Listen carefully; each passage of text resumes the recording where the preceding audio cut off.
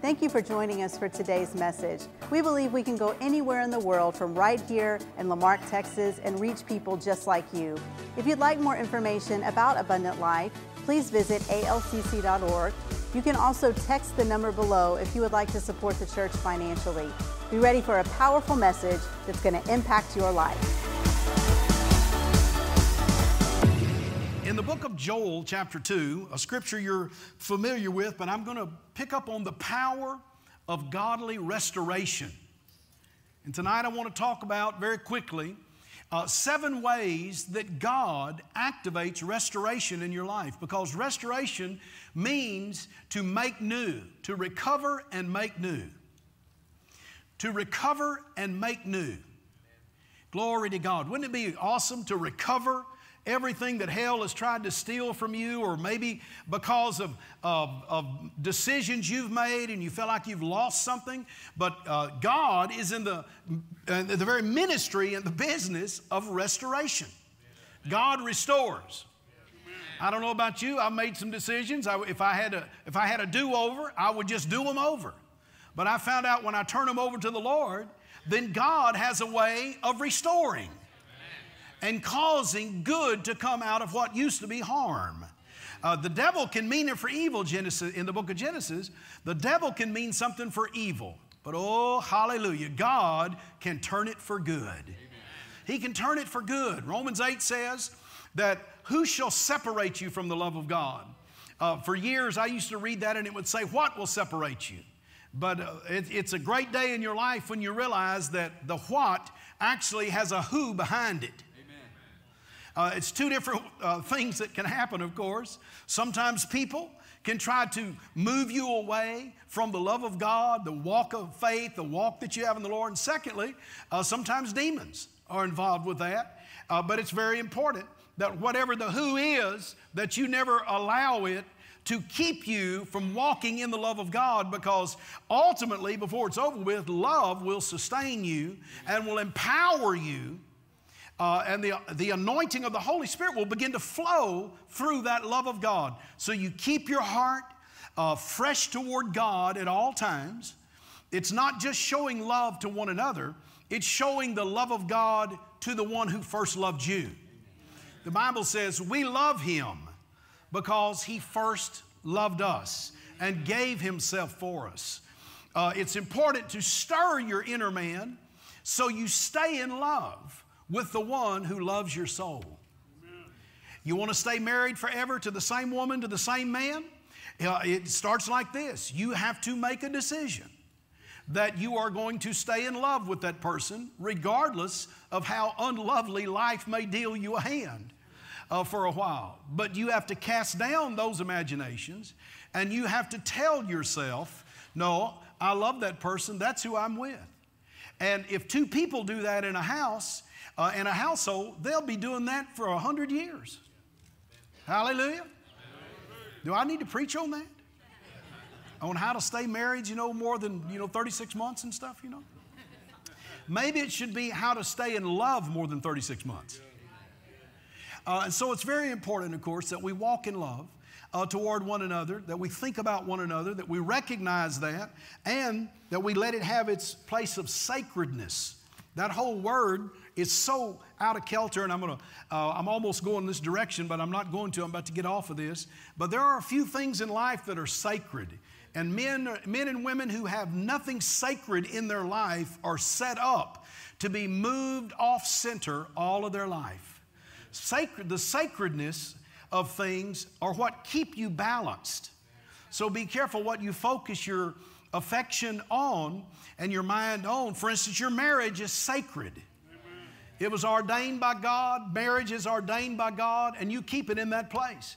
And when it's sacred, that means nobody gets in that, in that relationship, to divide it, to distort it, to uh, make it impure, uh, to run it down, or uh, including yourself. You guard it. It's sacred. Hallelujah. Your relationship with your children is sacred. Anybody mess with your kids, they're going to have to do it over your dead body. Y'all know I'm telling the truth. I've known some little mamas to become, you know, like Hulk Hogan. You, you just mess with their kid for a second and see what happens. It's on. And, uh, and that's the way it should be, also, I'd like to say. Praise the Lord. Never give up on your children. Never give up on your, on your children. Today is not forever. Whatever that problem is you're dealing with, stay consistent, stay upright, uh, stay instructional, uh, walk in love. Remember, you know more than they know. You're smarter than them. I know this is a debatable subject all of a sudden. I mean, I just feel like some debates wanting to come out of this. I'm not really sure. No, it's very sacred. Listen, your personal relationship with God through Jesus Christ and the, and the manifestation of the Holy Spirit which you have received, that's very, very sacred to you. Uh, you have to refuse to let anything get you off of, the, uh, off of that place that God has called you. That, it's a place, that's what it's for. The Word of God itself is very sacred, it's God ordained. It has, a, it has a kingdom impact to it, it has a forever impact to it, and everything I just named does. It's sacred. Your relationship with God, His Word, with the Holy Spirit. Praise the Lord. Uh, very sacred. Your relationship with your local church is a sacred thing. When you get to heaven, you're going to know two people when you get two kinds of people. You're going to know your family and you're going to know your church family when you get to heaven. And you're going to spend the rest, however many umpteen jillion eons, learning the name of a lot of other people. And in heaven, you probably have perfect memory. You'll probably never forget anybody's name. Unless you wanted to, of course. And then you probably could. All right, praise the Lord. Y'all doing all right? Joel chapter 2, verse 25. God makes a powerful promise, so powerful that on the day of Pentecost, the Apostle Paul quotes out of Joel chapter 2. Uh, when the outpouring of the Holy Spirit came, it illuminated his understanding with revelation knowledge to the place he knew Jesus had poured out the Holy Ghost. And he said, This is that spoken by the prophet Joel. In the last days, I'll pour out of my spirit upon all flesh. And he begins to say several things. This denotes the, the end, uh, the last age which you and I, of course, from the day of Pentecost on until today, right now, we're living in the church age. And uh, the Holy Spirit was poured out, and the Apostle Peter said, This is it. Uh, so it's not like there was a Bible dispensation and now we're living in, in today. No, the church age started that day in the last days. He poured out His Spirit and He is still pouring out His Spirit today. Come on, y'all with me? And uh, he, he quoted that out of Joel chapter 2. And one of the great promises of Joel 2 uh, in verse 25, it says, I will restore to you, uh, recover and make new. I will restore to you the years that the locust hath eaten, the cankerworm, the caterpillar, the palmer worm, my great army uh, which uh, I sent among you, and you shall eat in plenty. Every time I go uh, to Luby's, that's what I say. You shall eat in plenty and be satisfied and praise the name of the Lord your God, who hath dealt wondrously with you, and my people shall never be ashamed. Come on, clap your hands right there to the Lord with you. Just stir yourself a little bit. God is in the restoration business. Amen. Restoring, reproducing, making new. Everything about his covenant promises, you see that over and over and over, hundreds and hundreds of times in the Word of God. Uh, the next time you ever are tempted to believe that God is mean, bad, hard, or withholding from you to teach you something, just remember that's not His MO. No, He's the God of recovery and restoration. Very important. To restore, to make complete, to make new, to recover. Listen to this. It can also mean to repair, to a place of new. It can mean to take back. It can mean to adjust. It can mean to mend. It can mean to frame and build or rebuild. But all of those things are to the point of new. When God restores, He only has one way of doing it, and that's to make it new. When we go to heaven one day, the Bible says it's new every day. heaven is new every day. Can you imagine waking up uh, in heaven and uh, in every day it's new? Every day it's always new. Anyone in here ever gotten a new car? Yeah, how about a new house? You ever gotten a, a new, new dress or a new pair of pants or something? And they were just all of that. Y'all know what I'm talking about? They were, they were awesome. And when you put them on, you look 10 pounds lighter and, and, uh, and you just look better and, and you're kind of imagining yourself, you know, and uh, in whatever role that you're imagining yourself. And, and it's just all of that.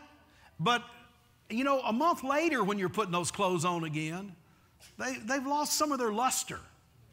Or else maybe we've gained a little bit more chocolate poundage, you know what I mean? And pecan pie. And I don't have many weaknesses, but vanilla ice cream, I tell you what. But please don't pray that I get delivered from that, would you? Just, just leave me alone.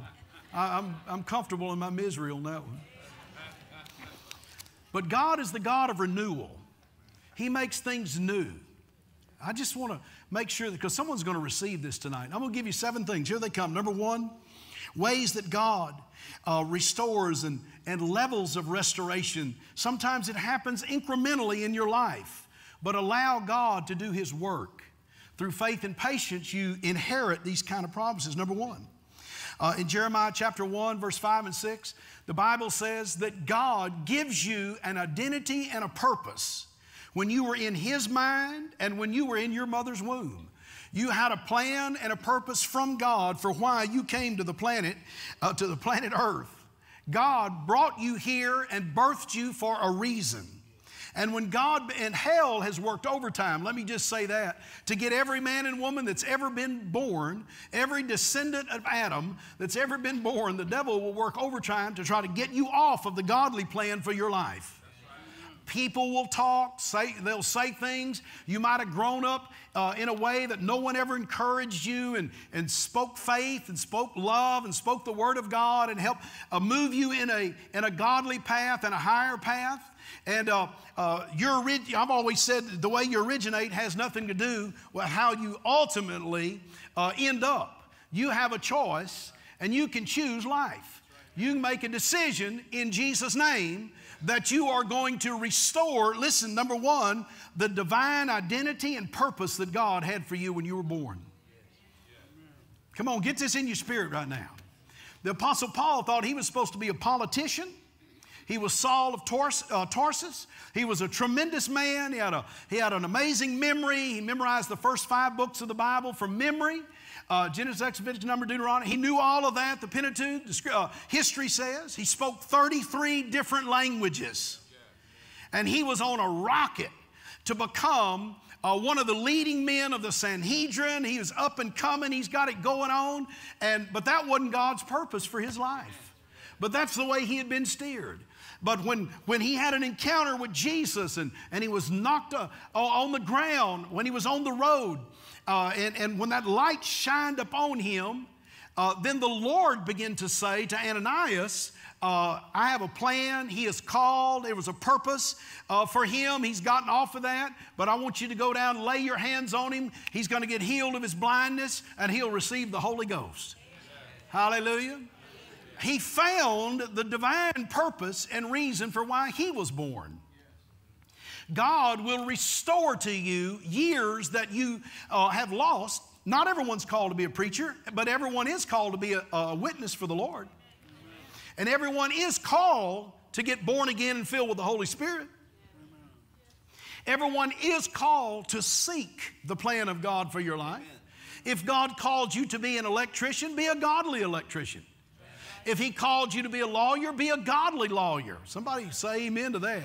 No, that is possible.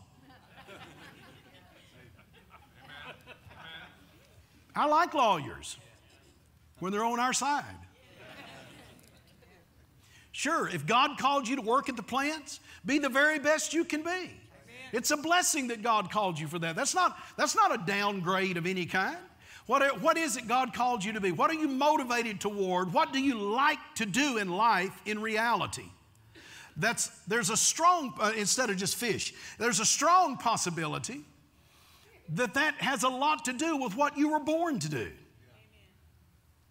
Uh, there, there's, a, there's a zeal that comes in you, especially as you mature as an adult uh, and you begin to mature, you realize there's some things in life you really like to do. And I'm not talking about playing little games.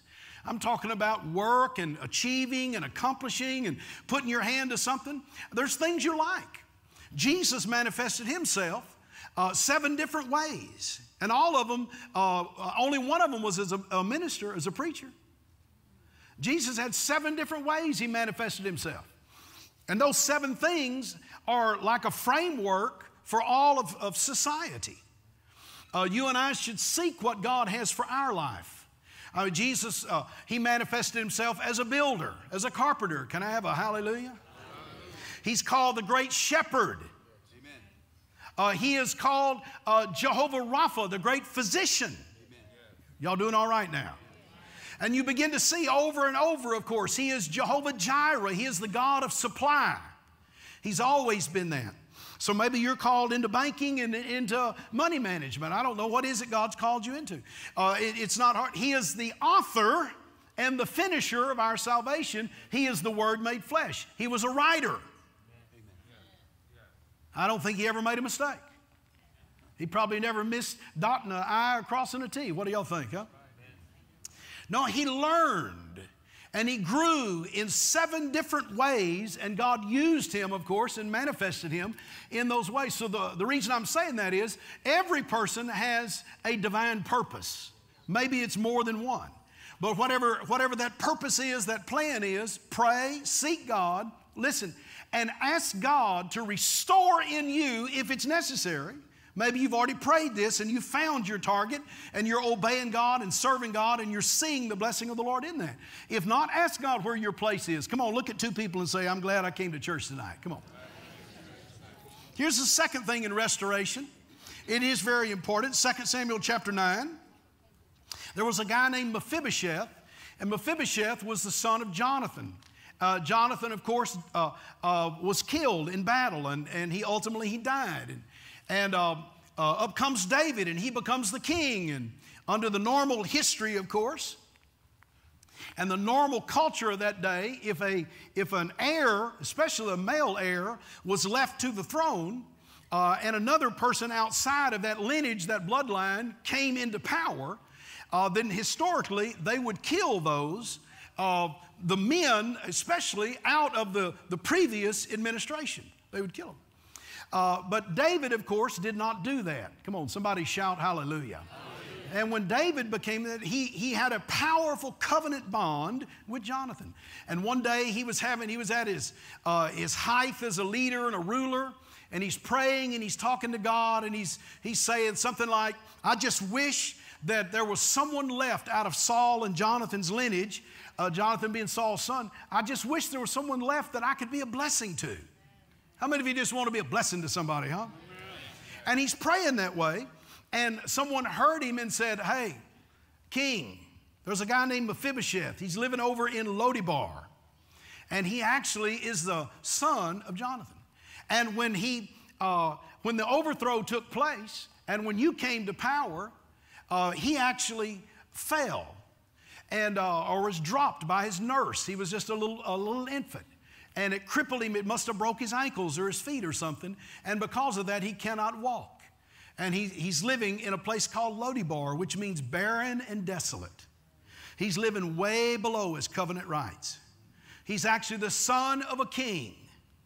And in, in, in just by bloodline, he's in, he's in line to be the heir. But God had another plan, and he put David there. Y'all doing okay? But David had the right heart. I've always said if God puts you in a place of leadership, it's not to make you all of that in a bag of chips and stuff. No, it's so you can be a servant leader.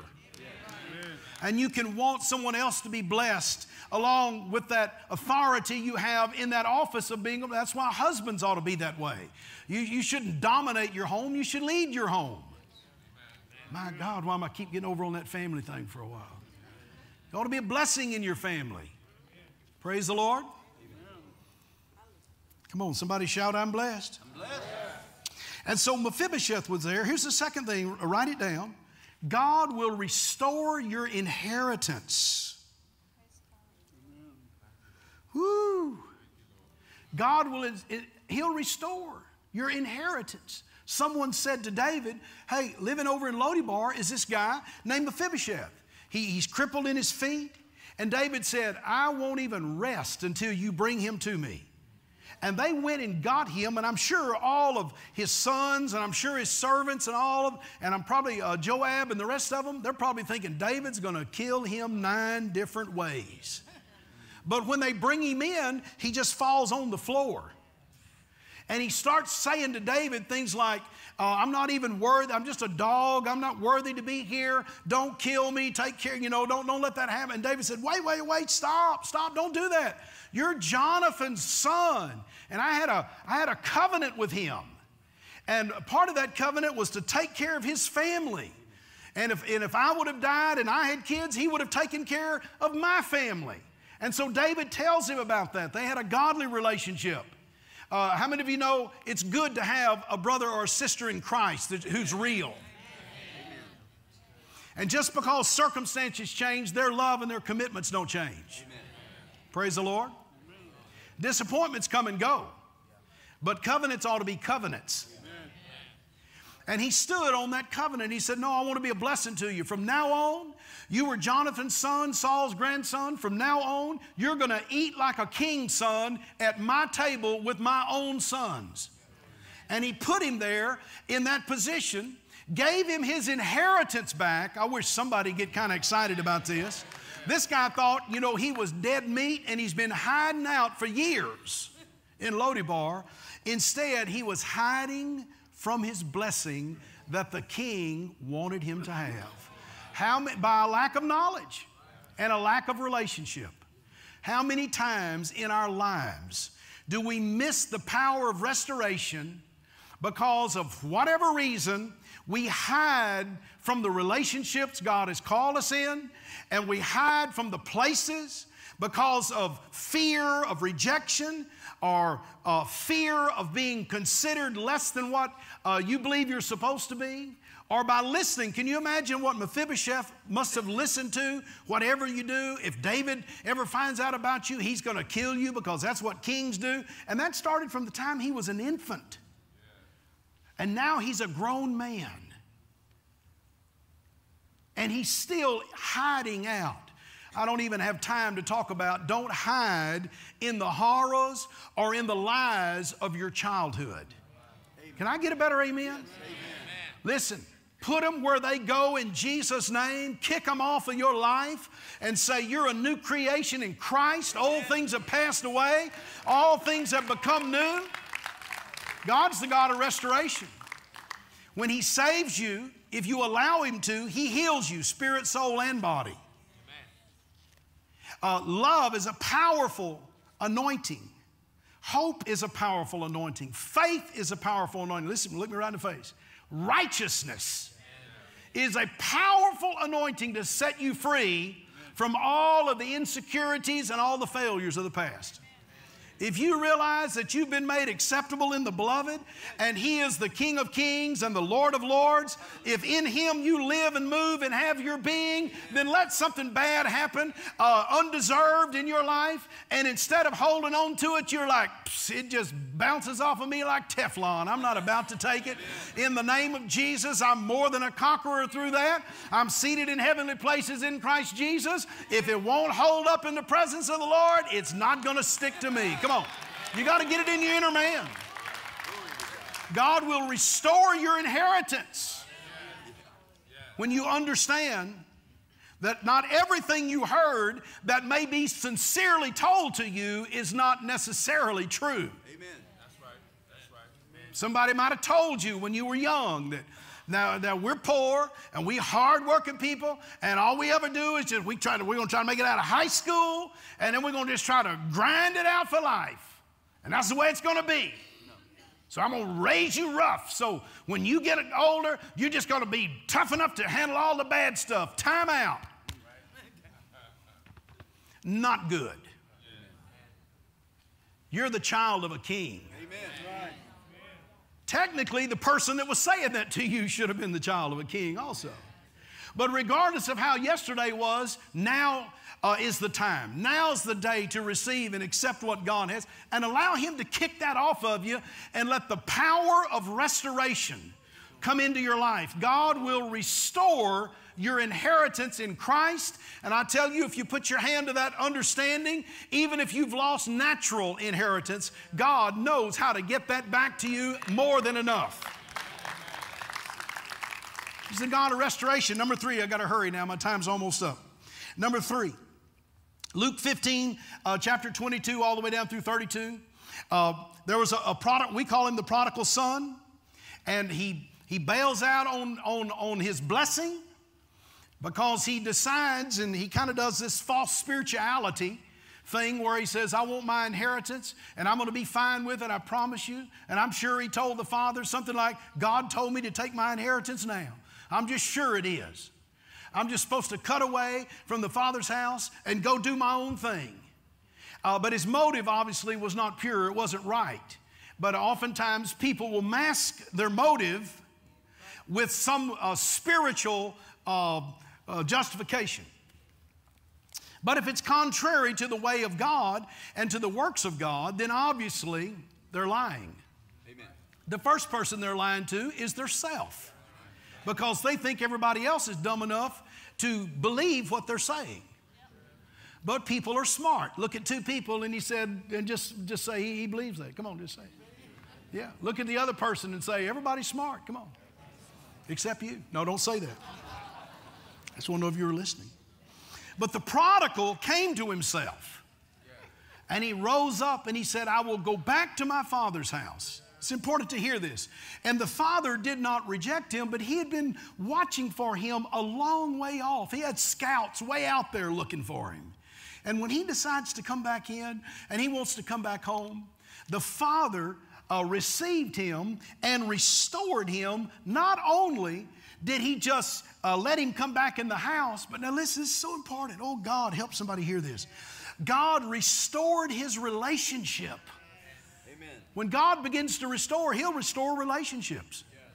Look, so many times we don't have relationships with our brothers or our sisters or with our friends or, or with someone that we are actually called, uh, especially families. Especially, if, listen, your family in your problem, it's your purpose. You need to get every person in your family born again and filled with the Holy Ghost. Are y'all listening to me? Uh, it's very important that every person in your family gets saved. That's got to be a desire. It needs to be a screaming desire in your inner man that no one in your DNA is going to go to hell. Glory to God. The same Jesus that set you free will set them free too. It may take a little time, but God loves them as much as He loves you. I don't care how big of a fight, etc., that you had at the family reunion. I don't care how much turkey and stuffing that you have thrown at, at Thanksgiving. God still loves them. Uh, if nothing else, pray someone else across their path. Just begin to pray that God will send someone, laborers that they will listen to. And then when you have an opportunity, you share the goodness of God in your life. Instead of telling them what they're doing wrong, tell them what's going right in you in Christ. Uh, because there's a DNA connection more than you realize. And if you understand that you're not just related because you kind of look like that person, you have, a, you have an element of soul uh, in you that is very much like that other person. I don't care how much they're trying to not be like you. It's just there, it's in them because they're part of your blood. Amen. Believe God that every one of them will be saved. Amen. Come on, give somebody a high five right now. Just say, we're going to get them saved. Glory to God.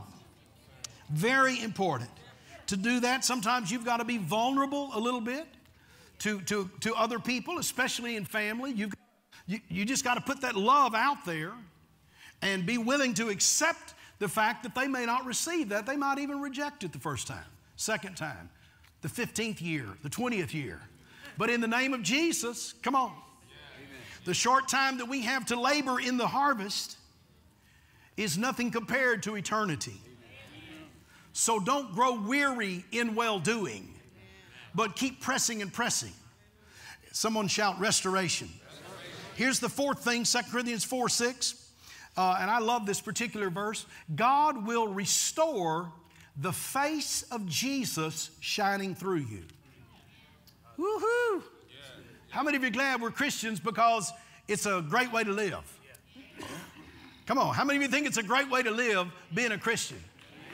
Look, you had to give up a lot of stuff. I mean, you had to give up losing, and you had to give up pain, and you had to give up all of the fears, and you had to give up doubt. You had to give up uh, poverty and all of that because when you're serving God, you just start coming out of that.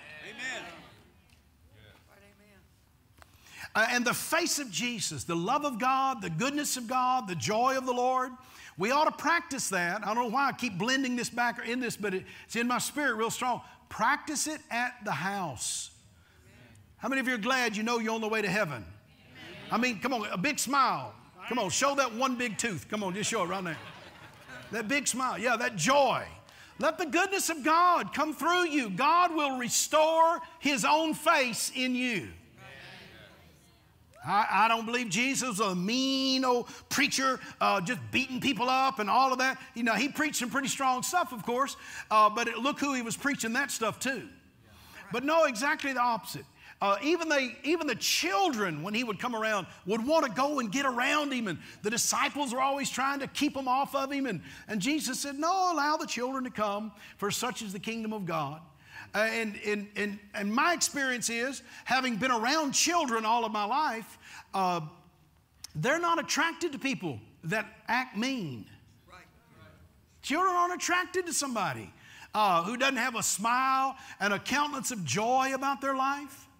Praise the Lord. Amen. Praise the Lord. Amen. I like those smiles right now. You guys are looking pretty good tonight. It's very important that God will restore the face of Jesus in you. I'm going to tell you this real quick story, and uh, I'll take just a minute out of the time I have left to do this. It's very important to hear this. Years ago, this many years ago, probably close to 30 years ago, uh, there, there was people that were members of the church. Church wasn't very old in those days. We just kind of built a new building out here. Uh, and so uh, we had some people that, uh, that worked at a travel agency uh, here locally in the area. So uh, I was going to Ireland, I think's where it was. So I used them, of course, to buy uh, to buy the tickets through because they were members of the church and, and I trusted that they would take care of the arrangements good. So, anyway, I go down to the office of the travel agency. When I go in the travel agency, that person is in there who's a member of the church. So I talked to him just for a moment, and they said, Oh, we want to introduce you. I want to introduce you to my boss. I said, Oh, great, yeah, I'd love to do that. So it was this lady, a nice, attractive business lady, was there. And so when she uh, uh, walked out, uh, this person said, Hi, uh, this is Walter Hallam. I'd like to introduce you uh, to him. And she said, Oh, hi, how are you doing? And I could feel the vibes instantly. I mean, she's like tele- telegraphing, you know, real quick. And uh, then the, this other lady says, um, This is my pastor, Pastor Walter Hallam, like that. And she went, Oh, I'm so sorry.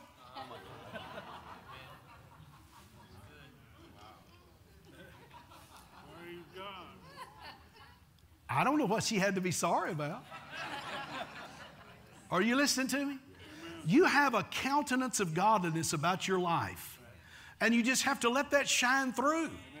Just let it come through.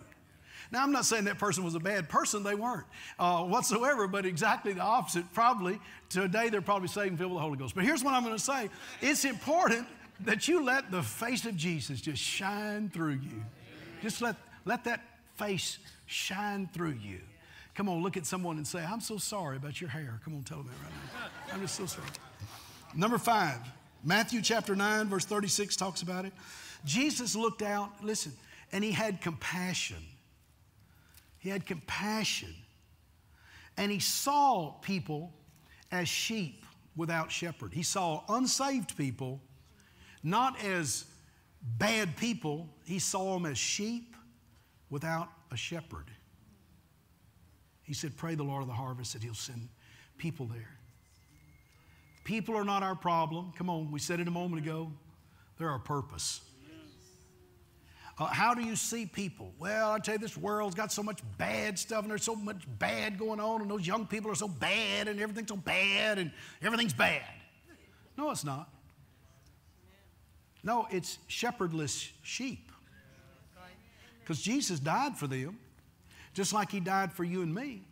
At some point, if we can reach them, we won't have to, especially if we can reach them when they're young for Jesus, you don't have to rescue them from somewhere later on. But it doesn't make any difference whether it's in the prison, on the deathbed, on the job, or just someone that you meet.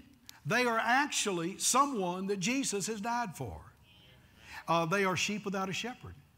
And they have to receive him as the shepherd of their soul. Uh, Psalms 23, as the Lord of their soul. The Lord is my shepherd. Are y'all doing okay? And so uh, God will restore, listen, your passion for getting other people saved. Remember when you first were born again, you just couldn't shut up about it. I mean, Jeremiah, it was like fire inside of your bones. You just wanted to share the gospel. You wanted to pray. Uh, look, there was no safe sick person around you. They got around you before you go, you're going to pray for them. There was just something about you, you had that passion. That comes from compassion, understanding that there are many people that just need the touch of the shepherd. They need the oil of the great shepherd pouring upon their head, the Bible says. And that happens through you and me. And when God begins to restore to you the years, God's not just restoring 365 days, He's restoring anointings in you and glorious things inside of you that are used for His glory. Come on up here and help me if you would, please. It's important to get this. Uh, Psalms 23 6, this is number six. Psalms 23 6, this is so good. God will restore your brain, He will restore your mind. Come on, shout hallelujah. hallelujah. Today, one of the uh, members in absentee of the church, uh, who they, they, uh, he's 94 years old. I had a, a wonderful little meeting with him today. He's 94 just as clear, talking just as you and me right now. He's, he's uh, uh, frail in his body some, but uh, thank God he drove here. And, and had his uh, beautiful little wife with him. She's getting on up in age also. And we talked, and she was talking good, but she says, I'm having these losses of memory in uh, certain years and certain times. There's, a, there's about a 20 year span of time. She said, I just cannot remember anything from those, those years back there, about a 20 year span of time. And so we're talking, we're talking like that, and she was fine to talk about that, but she said, I'm having these problems. I'm suddenly dropping out my memory like now. And you know, the Bible says that God will, in Psalms 23, verse 6, He will restore my soul. Your soul is your mind, your will, your emotions. He says, He restoreth my soul. Come on, lay your hands on your head right now. And for just 10 seconds, pray over yourself. Father, in Jesus' name, come on, pray over yourself. Lord, let, let your anointing be on the head, the mind of every man and woman here. Thank you, Lord, no dementia. Thank you, Heavenly Father. No, no, no Alzheimer's. I rebuke that in the name of Jesus. Thank you, God for supernatural quickness in our memory, our recall, and in our vision to see ahead. You said that you would restore. You'd restore years. Thank you, God, for that supernatural ability because you restore our soul. Help us, Lord, to reproduce in others a restored soul. The last thing, number seven, Jeremiah 30. is one of the great scriptures of the Bible. Jeremiah chapter 30, verse 17. God will restore your health. God restores health. I'll restore health unto you, and I will heal you, the Bible says, of all your hurts, your wounds, saith the Lord because you have called, you've been called an outcast, saying, This is Zion, who no man seeketh after. Listen, God never abandons you, and He will restore your health. He will heal your wounds. So many times in life, we pick up a lot of wounds along the way. And not only a physical, but emotionally and spiritually. And they just seem to always be there. And every now and then the scab gets pulled off of that. And there you're dealing with it again. Do I have good news?